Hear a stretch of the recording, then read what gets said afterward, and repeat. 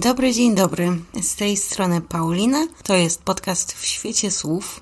Jak tam się macie dzisiaj? Wiecie, tak sobie pomyślałam, że ja jestem królową prokrastynacji, taką wysoko funkcjonującą prokrastynatorką, bo zamiast ogarniać chatę, to ja nie, nie obchodzę świąta to swoją drogą, ale zamiast ogarniać chatę i robić różne ambitne rzeczy, to postanowiłam bardziej z wami posiedzieć i wam potowarzyszyć, być może w tej chwili lepicie pierogi albo sprzątacie, a może lukrujecie pierniczki. Będzie mi bardzo miło, jeśli będę mogła Wam trochę czasu zająć i uprzyjemnić Wam ten czas. Choć umówmy się, moje historie nie są zbyt wesołe i nie są zbyt radosne, zwłaszcza w okresie przedświątecznym to tak średnio z tą radością. Zwłaszcza, że dzisiejszy temat jest, y, no, niezbyt miły. Ale myślę, że to jest czas najwyższy. A żeby Wam o tej historii opowiedzieć, ten temat temat podrzuciła mi na YouTubie Kamila, którą serdecznie pozdrawiam. Przeczytałam jej komentarz, wygooglałam i przepadłam. Postanowiłam, że muszę się z Wami podzielić tym tematem, tą historią. Nie ma niestety zbyt wielu informacji o tych zdarzeniach. Nieznany jest też motyw mordercy, nawet dla niego samego. Nie znamy zbyt wielu szczegółów zbrodni, ale była to wielka sprawa, bo dotyczyła pierwszego seryjnego mordercy w historii historii Cypru. Hmm? Cypr, jeśli nie wiecie, jest to państwo położone na wyspie Cypr, leżącej we wschodniej części Morza Śródziemnego. Poprzez wody terytorialne Cypr graniczy z oddaloną o jakieś 70 km na północ Turcją.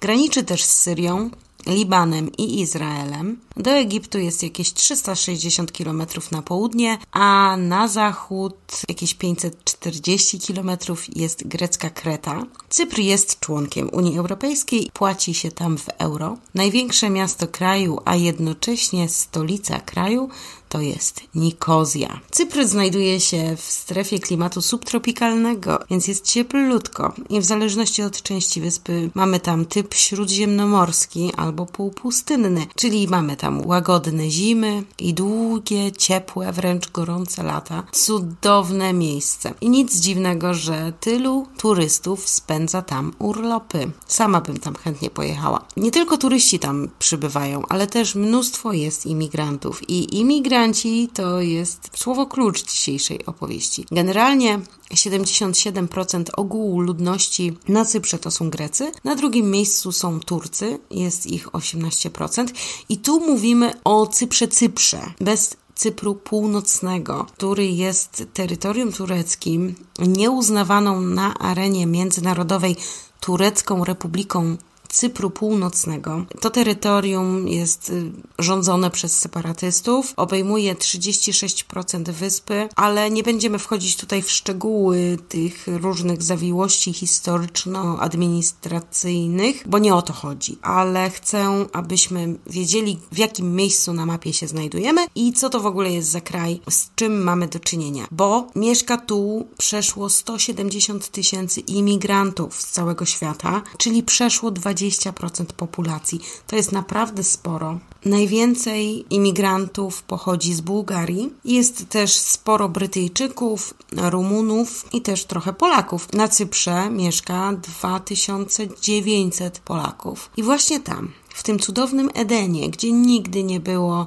wielkiej przestępczości, a turyści z całego świata przybywali spędzać wakacje z palemką, pod palemką i pomiędzy palmami nie tak dawno temu, bo między wrześniem 2016 a sierpniem 2018 działał tam seryjny morderca i działał zupełnie po cichutku. Mógł to robić, bo władze miały w dupie zgłoszone zaginięcia i pozwoliły mu w zasadzie na to, żeby zabił aż siedem kobiet. Przy czym dwie ofiary były małymi dziewczynkami to były córki jego ofiar, dorosłych ofiar. I znowu to samo, nie? Jak nie homofobia, to kuźwa rasizm. Za każdym razem, jak opowiadam wam o tego typu historiach, to mam wrażenie, że się powtarzam. Kopiuj, wklej, po prostu gadam to samo, bo w każdej historii to się powtarza. Policja daje dupy znowu, bo są równi i równiejsi, nie będziemy sobie głowy zawracać jakimiś tam sprzątaczkami z Filipin czy Rumunii. Co nas to obchodzi w ogóle? Nie jest to warte zachowania pewnie wyjechały, pewnie coś tam, pewnie coś tam. Zgadujemy, tak? Bo nie wiemy, zgadujemy i mamy w dupie. Sprawa zamknięta, możemy iść na kawę. I tutaj było podobnie. Wszystkie zaginione kobiety i wszystkie zamordowane kobiety były imigrantkami z innych państw. Poza jedną, wszystkie były zgłoszone jako zaginione i nikt się tym nie przejął. Gdyby policja wykonała swoją robotę na samym początku, jeszcze w 2016 roku, nie rozmawialibyśmy dzisiaj. I teraz przenosimy się do kwietnia 2019 roku, trzy lata temu zaledwie. I to jest miesiąc bardzo deszczowy. Leje niesamowicie. Słuchajcie, ziemia nie jest w stanie przyjąć tego deszczu, przyjąć tego ogromu wody i w bardzo wielu miejscach są podtopienia i zalania. Jak się teraz zastanawiacie, po cholerę ona o tym gada. Co nas obchodzi pogoda na Cyprze w kwietniu 2019? Ano, powinna nas wszystkich obchodzić, bo gdyby nie ten deszcz, to kto wie, jakby ta sprawa się potoczyła. Ale ten deszcz lał i lał i lał, aż zalał szyb kopalni Pirytu w pobliżu Mitsero. To jest miejscowość położona jakieś 32 km na zachód od Nikozji, stolicy kraju. I tak dużo było tej wody, że wszystkie głęboko skrywane tajemnice wyszły na wierzch. Między innymi ciało. Niemiecki turysta popindalał sobie na rowerze, robił sobie zdjęcia, fajnie jest i w ogóle. No i natknął się na zwłoki. Ciało, które sobie pływało swobodnie na powierzchni zalanej kopalni. Oczywiście facet od razu, um, guten tak, zgłaszam, że tutaj jest ciało. Policja przyjechała na miejsce, zrobili badania DNA i okazało się, że denatką jest 30 29-letnia Mary Rose Tiburcio, czy Tiburcio, Filipinka, która pracowała na Cyprze jako pomoc domowa, a jej zaginięcie zgłoszono w maju 2018 roku, czyli rok wcześniej. Co najgorsze, Mary zginęła wraz ze swoją sześcioletnią córką Sierrą Grację Seukaliuk. Dziewczynka zostanie niestety znaleziona martwa, jako ostatnia w tym cyklu ofiar. I co? Znajdujemy zwłoki w szybie kopalni. Kogo by tu podejrzewać? No oczywiście, że będziemy podejrzewać męża, prawda? Zawsze to jest mąż albo szatniarz. Wszystkie historie z lat 80. nauczyły nas tego, że sprawcą jest zawsze mąż. Agata Christie też miała tym swój udział. To nie tylko historie, bo statystyki mówią, że jednak najczęściej sprawcami zbrodni są najbliżsi, ale w tym przypadku nie było zbyt wielu dowodów na poparcie tej tezy. Męża aresztowano, ale szybko go wypuszczono. No właśnie, nie znaleziono dowodów. Znaleziono paszport jego córki u niego, co sugerowało, że Mary nie planowała wyjechać, jak początkowo policja sądziła. Kiedy zaginięcie Mary zgłosiła jej współlokatorka i ona w 2018 powiedziała policji, Mary miała wrócić 5 maja o 6 rano, ale nie wróciła. Martwię się, bo umówiła się z facetem o ksywce Orestis Apoel 35 na Badu, na moim kanale pojawił się już morderca z Grindra, mordercy z Tindera, teraz mamy mordercę z Badu. Spośród tych wszystkich aplikacji to chyba Badu jest najbardziej gówniana. Takie mam wrażenie. No i, i tak, policja dostała zgłoszenie od koleżanki, czy tam współlokatorki, że kobieta zaginęła i nic nie zrobili. Uznali bez żadnych dowodów, nie mieli nic na potwierdzenie tej teorii, uznali, Wyjechała. Wzięła córkę, wyjechała w pizdu. No ale znajdują zwłoki i już wiedzą, że nie wyjechała jeszcze ten paszport. Daliśmy dupy, panowie. W ogóle taka ciekawostka jeszcze tutaj, żeby dolać oliwy do ognia. Zaginięcie Mary, a w zasadzie zaginięcie Sierry, czyli jej sześcioletniej córki, zgłosiła też pracownica przedszkola, do którego chodziła Sierra. Tak, personel przedszkola zadzwonił na policję powiedzieć, hmm, ta dziewczynka się nie pojawiła w przedszkolu i też nic nie zrobili. Zatem w 2019 roku niemiecki turysta natrafia na pływające zwłoki, nagie zwłoki, zawinięte tylko w prześcieradło. Mary miała związane ręce i nogi, dryfowała sobie w opuszczonej kopalni pirytu i sobie gniła. Kilka dni później, bo 20 kwietnia, tak, Mary została odnaleziona 14 kwietnia, a 20 kolejne ciało zostaje znalezione. W tym samym miejscu właściwie też na terenie tej kopalni. Ofiarą była 28-letnia Arian Palanas Lozano. Też miała ręce i nogi związane, zatem podobny modus operandi. Jej zaginięcie zgłoszono w lipcu 2018 i też miała konto na Badu i też pisała z kolesiem o ksywce Orestis. Na szczęście policja tym razem wyczaiła, że hmm, za dużo łączy te dwie ofiary. Zatem poszli za IP i aresztowano wtedy Nikosa Metaxasa. Mężczyznę o Niku Orestis, 35-letniego żołnierza pochodzenia cypryjskiego. Kiedy go aresztowano, to okazało się, że hmm, panowie, musicie szukać dalej, bo te dwie to nie jedyne dwie, które wysłałem na tamten świat. Kolejne ofiary to były tak. Asmita Khatka Bista, 30-letnia Nepalka. Ona miała nick Kata Anu i ostatni raz widziano ją w 2018, kiedy wsiadała do białego samochodu. Jej przyjaciele zgłosili jej zaginięcie w konsulacie nepalskim, nie na policji. Na niewiele się to zdało. Też pisała z Orestisem. Kolejne trzy ofiary zostały wepchnięte do walizek i wyrzucone do Red Lake, do Czerwonego Jeziora w pobliżu Mitsero. Jezioro nazwane jest tak, bo w tym jeziorze są obecne toksyczne chemikalia z pobliskich operacji wydobywczych i te chemikalia nadają czerwony odcień. To jezioro generalnie jest mega toksyczne. Poszukiwania tych walizek były transmitowane wszędzie w mediach. Możecie znaleźć nagrania na YouTubie właśnie z, z tej akcji poszukiwawczej, w którą było mnóstwo ludzi zaangażowanych i w tych walizkach upchnięto istotnie trzy ofiary. Rumunkę Livię Florentinę Bunę, 36-latkę, jej ośmioletnią córkę Elenę Natalię Bunę oraz Filipinkę Maricar Valdez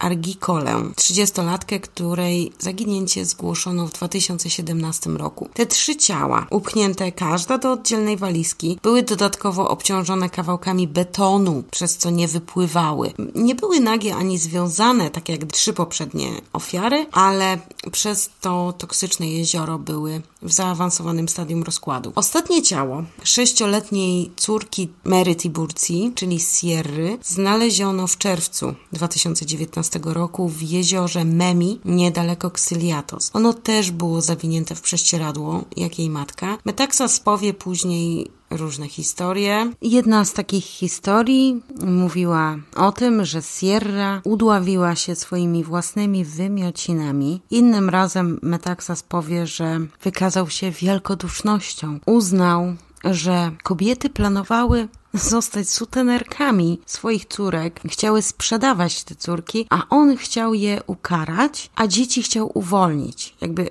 full of shit, nie? Jeszcze inna historia była taka, że zabił dziewczynki, aby nie było świadków. Jakby whatever. Siedem ofiar w ciągu dwóch lat. Metaxas przyznaje się do zamordowania tych ofiar. Pięć kobiet, dwoje dzieci, dwie dziewczynki. Cała siódemka to są osoby spoza Cypru. Nikos Metaxas, 35-letni żołnierz, który przez jakiś czas stacjonował w Atenach, miał bardzo prosty sposób zławiania ofiar. Otóż ukradł z profilu kolegi w mediach społecznościowych fotę i tą fotą zwabiał kobiety, więc to zdjęcie, które pojawia się na okładce tego odcinka, ja nie jestem pewna, czy to jest w końcu on, czy to nie jest on. To jest zdjęcie, które obrazuje wszystkie artykuły dotyczące tej historii, natomiast nie jestem przekonana, czy to jest Nikos Metaxas, czy to jest jego kolega, któremu ukradł e, zdjęcie. Podejrzewam, że powinien to być raczej on istotnie, bo kolega mógłby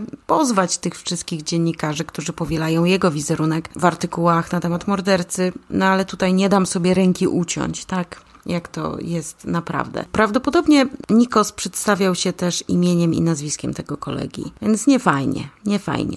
Obaj się, siedzieli w areszcie przez jakiś czas. Policja sprawdzała, czy ze sobą panowie nie współpracowali, ale ta teoria nigdzie później nie wypłynęła. To akurat przeczytałam w artykułach, które były pisane na bieżąco w tamtym czasie, kiedy ta sprawa się działa. Jak ustalił wtedy portal Alpha News, Nikos zaczepiał kobiety spotkane na ulicy lub na bazarze i proponował im pracę. albo poznawał je za pośrednictwem aplikacji Badu. Mary Rose y, namówił, żeby na randkę zabrała dziecko z kilku względów. Jej napisał, że Sierra świetnie się będzie bawić z jego dziećmi, tak, bo miał dwójkę, więc Mary poszła do niego, do jego domu z córką, z Sierrą i kiedy uprawiali seks, to usłyszeli płacz dziewczynki. Metaxas zeznał później śledczym, że około 40 minut później zdał sobie sprawę, że dziewczynka zakrztusiła się swoimi wymiocinami i że podobno próbował tę dziewczynkę uratować, ale już było za późno. W innym zeznaniu powiedział, że Mary pokłóciła się z ojcem Sierry, więc jakby chciał zwalić na niego i też pomyślał o tym, tym najgorszym rozwiązaniu. Sam powiedział, i to będzie cytat, od razu pomyślałem, że ona będzie prostytuować własną córkę, jeśli zaoferuje się jej pieniądze.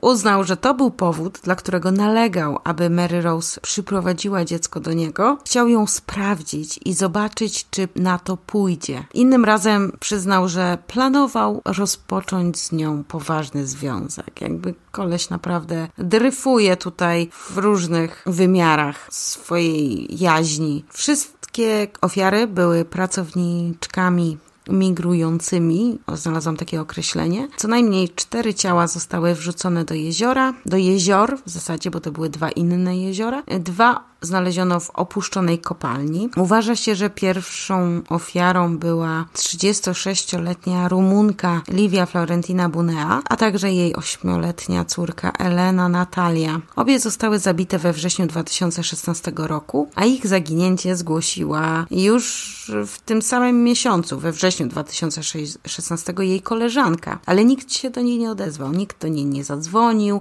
nie dopytał o nic, pomimo tego, że kobieta była przekonana, przekonana, że Livia nie zwiała z kraju, nie wróciła do ojczyzny, nie wyjechała tak nagle, bo w domu po pierwsze były rzeczy, kobieta nie spakowała niczego, a po drugie, ważniejsze pewnie, bo rzeczy można kupić, ale po drugie, Elena przyjmowała jakieś leki i te leki były w domu, więc żadna matka nie zaryzykowałaby zdrowia dziecka, żeby wyjechać nie biorąc leków. A jeśli by to zrobiła, to znaczyłoby, że coś się stało. Jakaś gwałtowna sytuacja miała miejsce, tak? Policja nie przejęła się za bardzo zgłoszeniem zaginięcia przez koleżankę zaginionej. Tę wymówkę moglibyśmy uznać, no delikatnie moglibyśmy uznać, ale z drugiej strony zaginięcie zgłoszy, zgłosiła też matka Livi, czyli babcia Eleny. Matka z Liwią rozmawiała prawie codziennie przez telefon i wiedziała, że córka po prostu tak by nie zamilkła. I to nagłe milczenie ją zaniepokoiło. No zresztą matki wiedzą takie rzeczy, tak czują. Zwłaszcza jeśli mają dobry kontakt z córkami to wiedzą. Kobietę szukał też jej były mąż. I jakby nic. Teraz wiemy, że Orestis zabił Livię, kiedy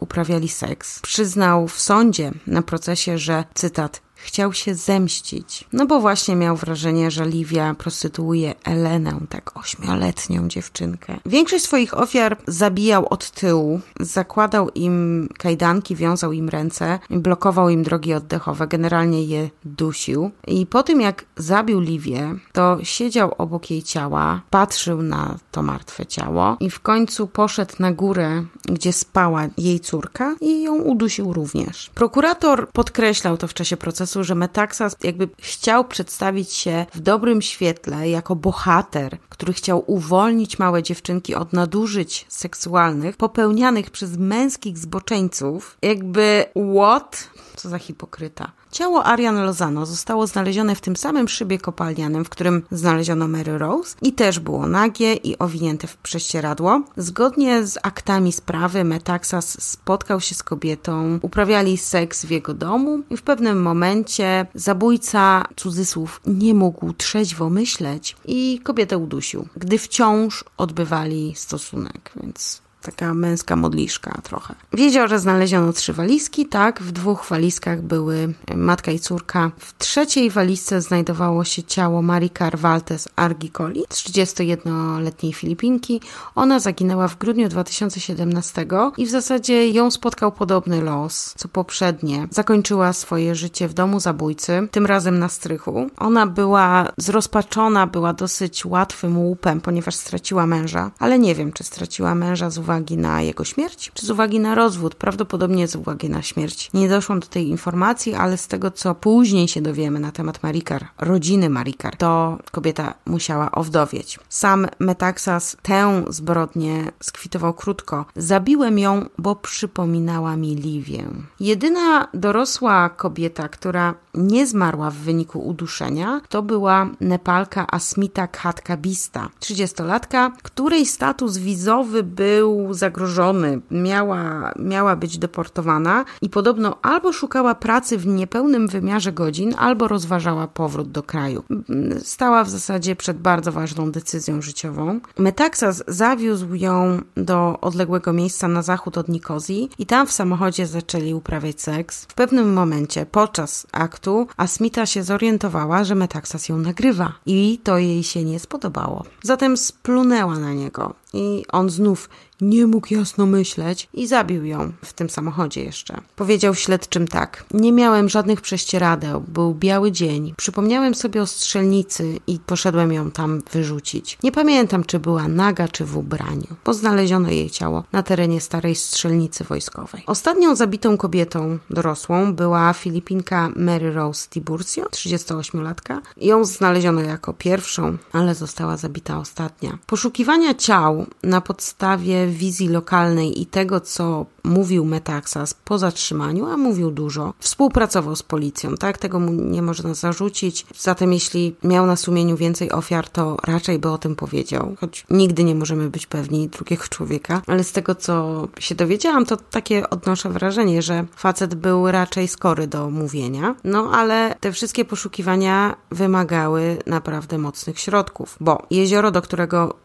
morderca wyrzucił walizki z ciałami, było toksyczne. Dodatkowo ciała były obciążone betonem. W tym jeziorze widoczność była zerowa, więc w jaki sposób odnaleźć obciążone walizki gdzieś na dnie czerwonego, paskudnego, obrzydliwego jeziora. Prywatna firma Brazil Marine Services wypożyczyła swoich nurków. Użyto też super kamery robota, który był najlepszy z najlepszych i łaził po dnie i szukał. Stany Zjednoczone wypożyczyły sonary, które na podstawie analizy dźwięków mogły lokalizować rzeczy pod wodą. Były też wykorzystane naloty dronowe, mnóstwo ludzi, mnóstwo funkcjonariuszy, bo sprawa była gruba i policja też nie była pewna, że na tamtym etapie, że Metaxas powiedział o wszystkim. Już podczas jego zatrzymania próbował podobno połknąć kartę SIM na oczach policji i to mu się udało, zanim go zatrzymali. Więc dowody znalazły się w jego jelitach, zostały stracone, zniszczone, utracone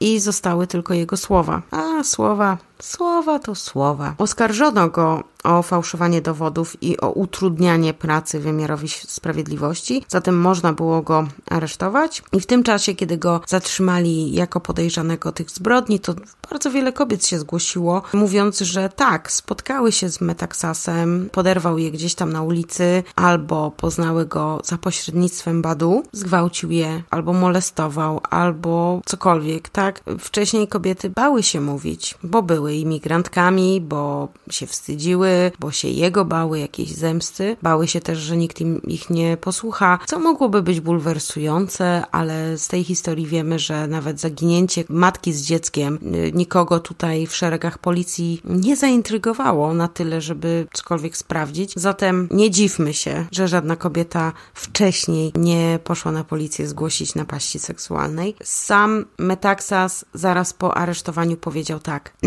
Jestem znudzony. Chcę iść do więzienia. Przynieście mi papier, to wszystko napiszę. Podobno napisał dziesięciostronicową spowiedź. Na procesie miał na sobie kamizelkę kuloodporną dla jego własnego bezpieczeństwa, ponieważ policja obawiała się samosądów, linczu. Płakał i powiedział: Ponoszę pełną odpowiedzialność za swoje czyny i jestem gotowy ponieść konsekwencje. Nie mogę cofnąć czasu i odczynić to, co zrobiłem. Poprosił władze, żeby zorganizowali jakiś panel naukowy, który przeprowadziłby z nim wywiad, aby zgłębić jego psychikę i znaleźć przyczyny jego działań. Mówił o nieokreślonych wydarzeniach ze swojej przeszłości dziesiątki lat temu, o których próbował zapomnieć. Błagał specjalistów, żeby go zdiagnozowali i żeby pomogli mu zrozumieć samego siebie, bo nie wiedział, dlaczego on popełnił te wszystkie zbrodnie. Przyznał się do winy 24 czerwca i otrzymał 7 wyroków do żywocia, przy czym 5 idzie jednocześnie. Jest to najwyższy wyrok, jaki kiedykolwiek wydano na Cyprze. W dochodzeniu brali też udział eksperci z Izraela i eksperci ze Scotland Yardu, m.in. patolog, psycholog kliniczny, konsultant, śledczy, różni eksperci, tak? To była gruba sprawa. Cypryjska policja potrzebowała pomocy z rozgryzieniem tej sprawy. Nikos Metaxas to był facet, który był kapitanem Gwardii Narodowej. To był szanowany członek społeczności. Urodził się w 1984. Był rok, jest rok starszy ode mnie. W chwili popełnienia pierwszych zabójstw miał 32 lata. Jego ojciec był lokalsem, pochodził z Cypru, a jego matka była imigrantką z Bułgarii. Ciekawe, co nie? Ciekawe, co to o nim mówi. Czyżby miał mommy issues? Jego własna matka była cudzoziemką, jego ofiary były cudzoziemkami, jakby ja tutaj widzę pewien związek. Jego rodzice rozwiedli się, kiedy on już był dorosły. Sam również był w separacji z żoną, nie był jeszcze wtedy rozwiedziony, no i miał dwoje dzieci. Podobno był odpowiedzialnym ojcem. Jego hobby to fotografia. Brał udział w wystawach prezentujących swoje prace. Brał też udział w programach telewizyjnych. Wśród jego rzeczy znajdowano fotografie przedstawiające kopalnie, w których znaleziono jego ofiary. Nieznane są motywy jego zbrodni. Policja nie wie do tej pory, czy celował w cudzoziemki z jakiegoś konkretnego powodu, czy po prostu uważał je za łatwy cel. A te morderstwa pokazały, jaki jest smutny świat pracowników zagranicznych na Cyprze. BBC opublikowało zjadliwy raport na temat wykorzystywania imigrantek. Było kilka protestów, naprawdę całe, cała społeczność imigrantów na Cyprze się zbulwersowała i zjednoczyła przeciwko braku kompetencji policji i olewactwu w tej sprawie. Wyszło na jaw, że w 2019 roku znaleziono w pobliżu lotniska Timbou w Erkan Wietnamkę Dam Thi Hop, ona zaginęła w październiku 2017, no i jego podejrzewano o to zabójstwo, ale prawdopodobnie to nie był on. A zatem świat jest wkurzony. Zaniedbania, niekompetencja policji. Wiele ofiar przecież zostało zgłoszonych przez krewnych lub przez przyjaciół już w 2016 roku. Ci ludzie, którzy zgłaszali, spotkali się tylko z obojętnością i z brakiem postępów w śledztwach. Policja utrzymywała, że hmm, po prostu uznaliśmy, że kobiety wyjechały na północ tak, do tej separatystycznej tureckiej części wyspy. Mhm. Za pracą, na pewno. No i nie angażowali się w zaginięcia, no bo zgłaszały je koleżanki, czy tam osoby niespokrewnione, jak na przykład personel przedszkola Sierry, nie rodzina. No ale jak ma zgłosić zaginięcie rodzina, jeśli te kobiety przybywają do Cypru za pośrednictwem agencji pracy, tak, zostawiają mężów w ojczyźnie, zostawiają całe rodziny w ojczyźnie, wyjeżdżają do pracy samotnie, mieszkają we wspólnych mieszkaniach z innymi imigrantkami. Moja mama, która była imigrantką, pracowała za granicą, też mieszkała z innymi Polkami na kupie w jednym mieszkaniu. Do domu, do, do rodziny najbliższej miała tysiące kilometrów, więc trudno tu o to, żeby zaginięcie zgłosiła rodzina gdzieś daleko w Rumunii czy na Filipinach, tak? BBC dotarło do tego, jak ten proceder wygląda, jaki jest obrzydliwy i nazywane to jest dosyć ostro nowoczesnym niewolnictwem. Bo tak, kobiety przyjeżdżają do Cypru na kontrakty i w tych kontraktach mają niby zapewnione wikt i opierunek, tak? Pracodawca ma im zapewnić miejsce do spania, jedzenie, tak? Całe wyżywienie. Do tego kobiety mają zarabiać 400 euro miesięcznie, co też jest śmieszną kwotą, ale dobra, odchodzą tutaj koszty utrzymania się, mieszkania jedzenia, no ale tak czy inaczej, to są psie pieniądze. Teoretycznie kobiety e, mają pracować 42 godziny w tygodniu i mieć jeden dzień wolny, a w rzeczywistości, ha, w rzeczywistości zarabiają znacznie mniej, pracują po 12-14 godzin dziennie. Wolne? Zapomnij. Nie ma wolnego. Często te kobiety są też wykorzystywane seksualnie. Nawet jeśli nie chodzi o gwałt, to jakieś podszczypywanie, molestowanie, też są poniżane, albo w ogóle są traktowane jakby nie istniały.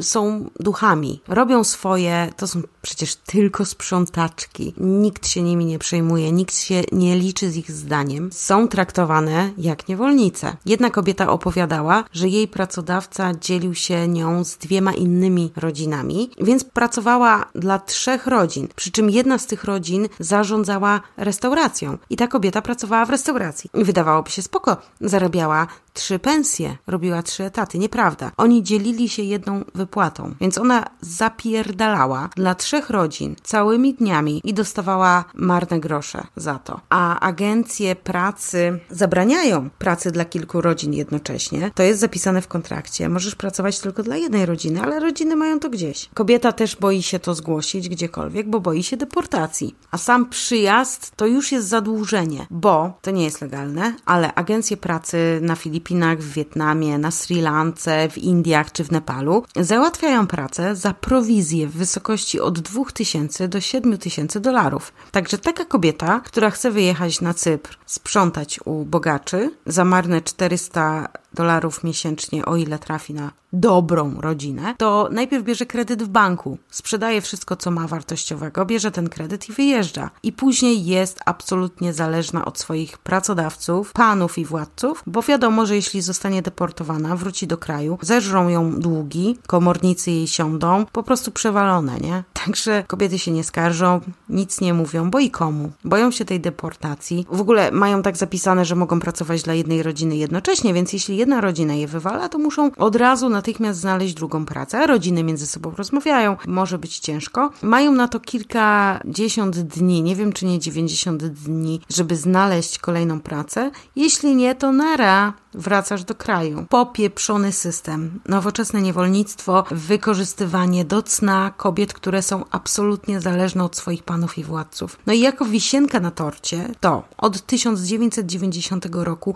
nie wyjaśniono na Cyprze aż 80 zaginięć cudzoziemek. Do tej pory trwa śledztwo w sprawie postępowania policji z tymi zaginięciami czyli sprawdzanie, dlaczego nie zrobiliście nic. W lipcu 2019 roku cypryjscy parlamentarzyści się spotkali i uznali, że musimy się odnieść do faktu, że na Cyprze w latach 2000-2019 zabito 37 kobiet. Coś by wypadało z tym zrobić. Prezydent Nikos Anastasiades potępił, cudzysłów, zwykłe zaniedbanie i nieefektywność władz. Dodał też, że jest przekonany, że ich działania zdecydowanie nie kierowały się żadnymi motywami rasistowskimi. Hmm, ciekawe. No wiecie, uderz w stół, a nożyce się odezwą. W trakcie tej sprawy Nikosa Metaxasa minister sprawiedliwości Jonas Nikolau podał się do dymisji. Tłumaczył swoją decyzję polityczną odpowiedzialnością. Zrezygnował z tego stanowiska, choć jak sam podkreślał, nie był osobiście zaangażowany w tę sprawę, ale ta dymisja jest dla niego sprawą sumienia i zasad, kwestią sumienia i zasad, a nieprawidłowości, do których doszło w tym śledztwie, są odzwierciedleniem nie tylko opieszałości policji, ale też, i tu cytuję, pewnej percepcji i postaw społecznych,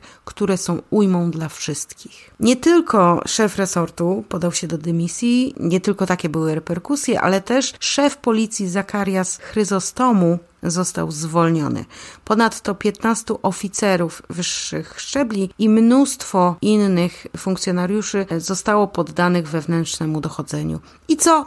I nic. Jeszcze taka słodko-gorzka rzecz. Na koniec to cypryjski biznesmen Sir Stelios Hadji Jonau, który założył brytyjską linię lotniczą EasyJet. On zapowiedział zaraz na początku, że przekaże po 10 tysięcy euro każdemu z najbliższych krewnych każdej ofiary. Tyle, że od lipca 2019 nie udało się skontaktować z krewnymi dwóch ofiar.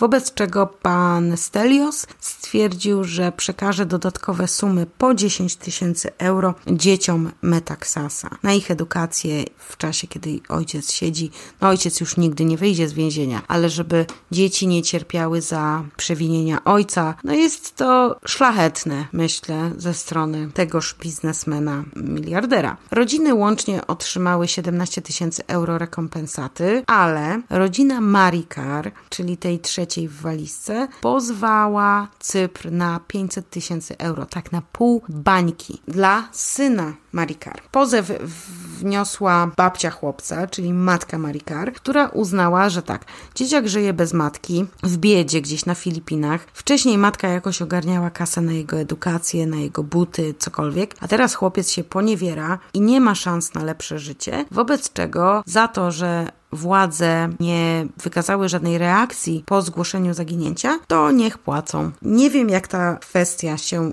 rozwija i na jakim jest etapie. Myślę, że to byłby precedens, bo dlaczego syn Marikar miałby dostać pół bańki, a pozostałe rodziny nie? Tylko miałyby się zadowolić tymi dziesięcioma tysiącami euro, choć być może nie, każdy, nie każdemu zależy na tym, ale dlaczego nie? Jakby to należy już do sądu. I cóż, no zwykle kończę odcinki jakimiś rozważaniami na temat motywów. Tutaj nie wiemy, jakie były motywy. Sam tłumaczył podczas rozprawy, że nie ma pojęcia, dlaczego zabijał te kobiety. Został osadzony w centralnym więzieniu w Nikozji i tam już sobie posiedzi, aż odejdzie na tamten świat. I to była historia Nikosa Metaxasa i jego siedmiu ofiar. Historia pierwszego seryjnego mordercy w historii Cypru i miejmy nadzieję, że ostatniego. Jestem bardzo ciekawa Waszej opinii na ten temat. Co o tym myślicie? Czy słyszeliście o tej historii? Czy Cypr może stracił trochę swojego uroku przez to? Dla mnie nie w sumie, ale trochę się zdenerwowałam tymi podziałami rasistowskimi i tym traktowaniem ludzi. No kurczę, XXI wiek i jeszcze Cypr to nie jest kraj, który nie zna imigrantów, co można byłoby jakoś tam tłumaczyć, tak? Cypr to jest kraj, do którego